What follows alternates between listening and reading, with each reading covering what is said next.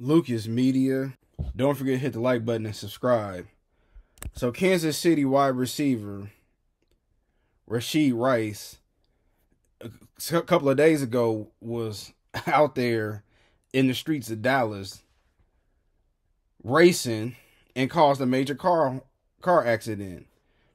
Now, luckily, nobody got hurt. But you got on video several brothers leaving the scene of the accident. One person was taken to the hospital, but again, glad nobody was, you know, lost their life or anything. Now, Rice is has been working with the Dallas authorities since then, and they were looking for him and had several questions, but he was off the grid or whatever, right? Here's my thoughts. Dude, if you want to race, bro, you really want to race your cars, I personally don't have no problem with that. But you need to go to a racetrack.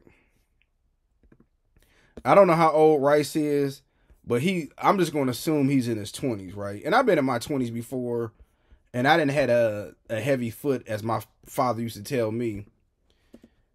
However, oh, he's 23. Oh yeah, he a young man.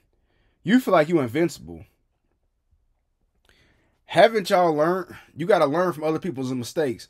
Look at what Henry Ruggs got. Career over, multiple year prison sentence because he doing 140 miles an hour down the street and hit somebody and exploded their car. You better be lucky that that's all that happened. And then you doing this in the state of Texas, you know in the state of Texas, if you get caught stealing a pack of gum, you doing 30 years. So you out here drag racing your car, just tearing it up on a highway, you and whoever else. And as soon as y'all cause a pileup or whatever, you want to get up and leave. No, no, don't leave. Stay there and take it. Now, eh, people are saying he takes full responsibility. Dude, don't you know it's a felony to hit somebody and leave? You're making millions of dollars a year.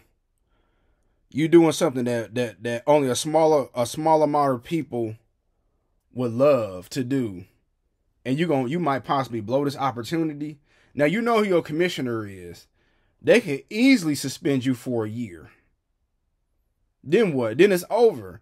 And the NFL is is different from these other leagues. Man, they don't need you. They can move on. If Patrick Mahomes retired today, the NFL will move on the next day and fans would move on. So you you got to be careful out here, young man.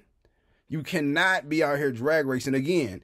If you're to do that, go to a um a racetrack, speed your car however you want. Now, Will people still disagree with that because you could get hurt? Yeah, but at least you're doing it legally.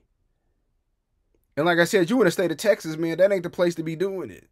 They don't just give slaps on the wrist down there. But I want to get my quick thoughts about it. What y'all think?